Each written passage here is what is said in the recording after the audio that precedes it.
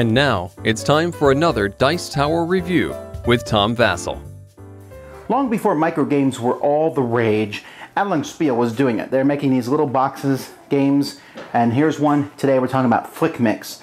No super special graphics on this at all, just a bunch of cards and some rules. It's a speed style game. Let's check it out.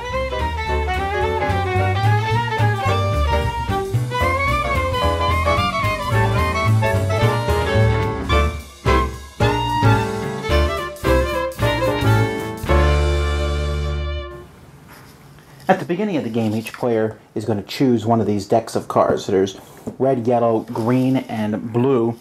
And they each have six dots on them black, white, blue, green, yellow, and red.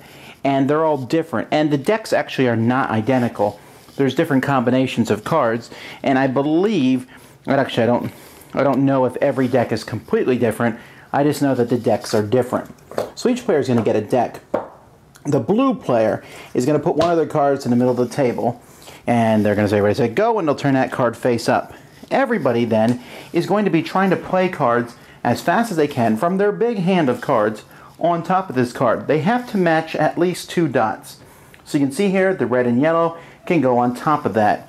Um, maybe you're going to match them in different ways. If I can find, like for example here, these green and white matches this green and white, but I can't place it down because the red doesn't match the blue. And if I wanted to place a card here, I would actually have to play one that had red and green on the end and uh, black, which could be difficult to do because you need to get the green and red and then you also need to get black. So I'm looking through my cards now here and I'm looking, okay, I need green and red on the end. So I'm looking through, is there a green and a red? Oh, there's a green and a red. Oh, oh, yes, it works. See how there's a green, red, and black? So then I can place that one there. So everyone is doing this, and of course, as people place more cards on the table, that gives you more opportunities, and you're playing as quickly as you can. Eventually, one person's cards are all going to be out on the table. At that point, you check to make sure everyone didn't cheat. If you did place a card incorrectly, you lose two points. You also lose a point for each card in your hand. You take your cards, pass them to the other player. Someone else's blue picks one of their cards to start, and you keep going until every player has played blue once. Whoever has the fewest points at that point is the winner. So there we have it. Flix Mix. I want to keep on say Flick Mix, but Flix Mix. Um, it's a small little card game, speed. It has one problem I think that's pretty bad, and that's that it's not colorblind friendly.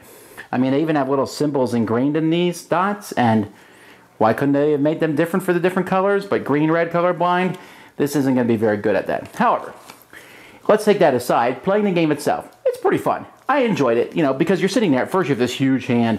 So you're looking at a card there and going, okay, a red black one. All right, let's see if I have. Oh, there's red and black. No, not the right combo. Oh, here's a red black. Ooh, that fits. And then you play it. As you get fewer and fewer cards, instead of that, you say, oh, this one has a white and yellow. Where can I place it on the board? I feel like somewhere in the thing, instead of finding a card that fits in a spot, I'm looking to see where I can place my card. And we never ran into a spot where nobody could place the cards. There's only so many combinations, and so it works pretty well.